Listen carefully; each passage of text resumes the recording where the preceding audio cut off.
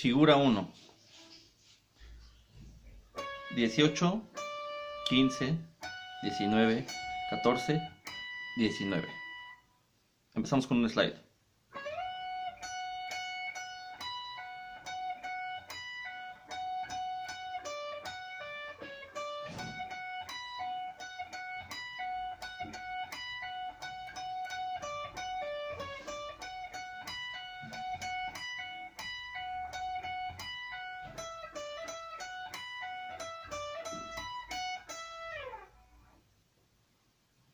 Figura 2. Utilizaríamos 16, 13, 17, 13, 19.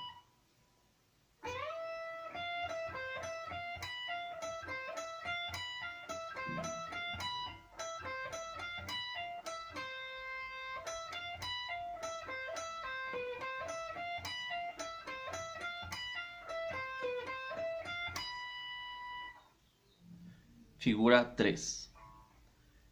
22, 17, 20, 17.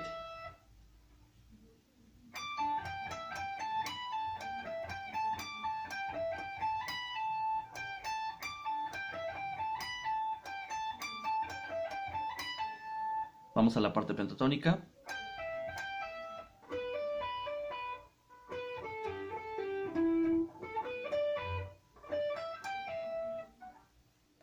Cuarta figura.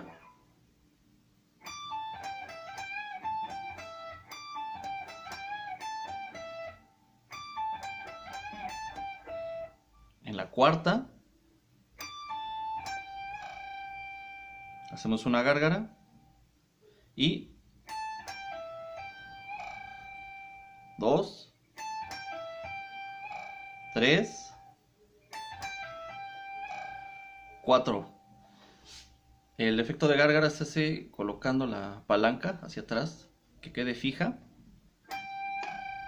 Y le vamos a pegar. Última parte, pentatónica también. 22. 16. Pulling al 12.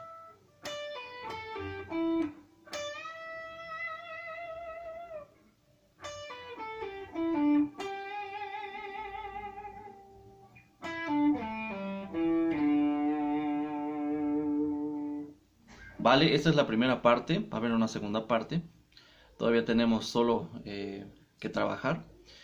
Eh, esa la voy a hacer si llegamos a mil visualizaciones, por lo menos, ¿vale? Entonces, ojalá puedan compartir, eh, puedan suscribirse. Espero que les esté ayudando este tutorial.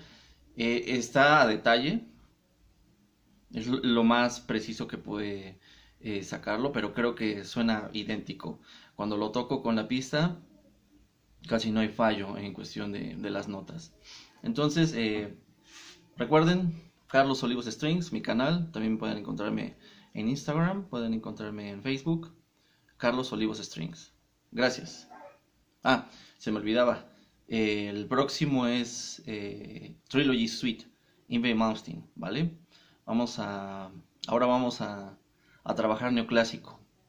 Siguiente tutorial.